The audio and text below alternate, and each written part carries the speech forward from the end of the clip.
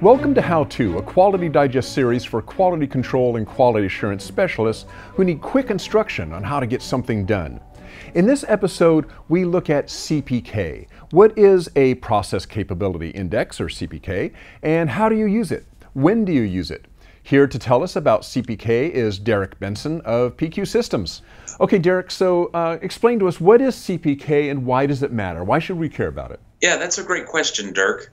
Uh, we have learned that CPK can sometimes be a challenge to wrap your head around. Sp- starting formally, CPK is a metric or a statistic that helps you determine if your existing process is capable of meeting your customer's requirements. Now, a little bit less formally, what does that really mean? Um, think of CPK as a universal language for customers and suppliers of all shapes and sizes to communicate with each other about how things are going. Um, in other words, the health of the processes. Now, this is all shapes and sizes, so it doesn't matter if you're, you know, in the food and beverage industry or automotive manufacturing, aerospace. It's a unitless measure. Uh, that way, any customer and any supplier can chat with each other. I think of it a lot like a report card. Uh, through grade school, we have a pretty good understanding about the differences between achieving an A and a C or a D and an F. Now, CPK is very similar. It's up for the customer to determine what that good grade is Sometimes it's CPK of greater than 1, oftentimes it's greater than 1.5. And is this is this is this just a, a numeric uh, indication or is it a visual indication? Both? What, what, are we talking about here? What, what do we actually see when we when you calculate a CPK? We have found that uh, people like to consider it both or, or, or help to, to see the visual indication on a histogram of a CPK, uh, but also th- there's some background behind that. Uh, we've created an analogy that, that we think might help with, with better understanding uh, using sports of all things. Um, so we're going to consider a field goal kicker in an American football team, and we're trying to decide which field goal kicker would be the best for our fantasy team.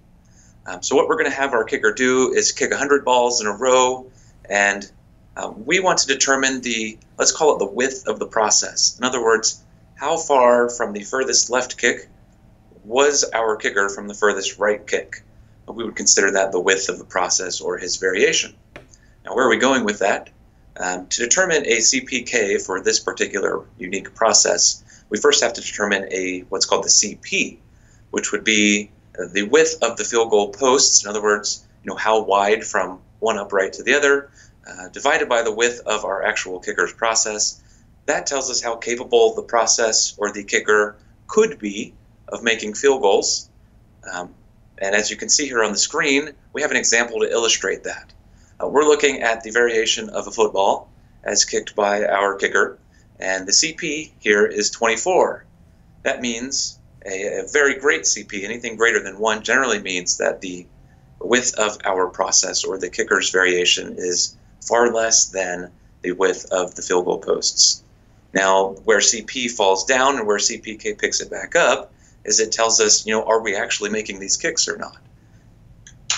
Our illustration, we see that with field goal posts, we are centered.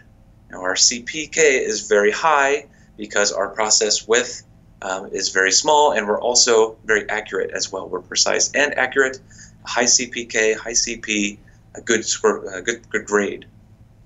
In our second example here, we're off-centered a little bit. Uh, we're still making some field goals, but we're our average is leaning towards the left upright. We are going to be kicking a few balls outside of our uh, field goal posts, and therefore our CPK is a little bit smaller.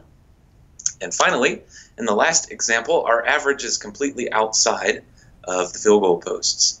Now notice our CP is still the same. We still have a very consistent or precise process. The problem is that this process isn't centered we're not making very many field goals. We get a score of an F, a low CPK, probably not the best individual for our fantasy team. If I understand this correctly, then if you were going to use CPK as an indication in, in, this in this example of how, let's say, how good the kicker is, it seems to me this also implies that he this kicker also has to be consistent, right? I mean, if you had a kicker that was all over the place, you couldn't really calculate CPK, right? it's kind of based on, uh, on the kicker kicking on average a certain way, right? You are absolutely correct. So, one assumption that we made was that we had a consistent or a predictable process to begin with. Um, at PQ, we like to refer to this as SBC instead of SPC, meaning stability before capability. So, as long as you have a consistent process, you've reviewed a control chart, and have a pretty good idea that you can predict the future, you can therefore make some conclusions with these capability indices. Okay, perfect. Well, Derek, thanks for explaining uh, CPK to us uh, this morning. Yeah, thanks for having me, Dirk. Sure, no problem.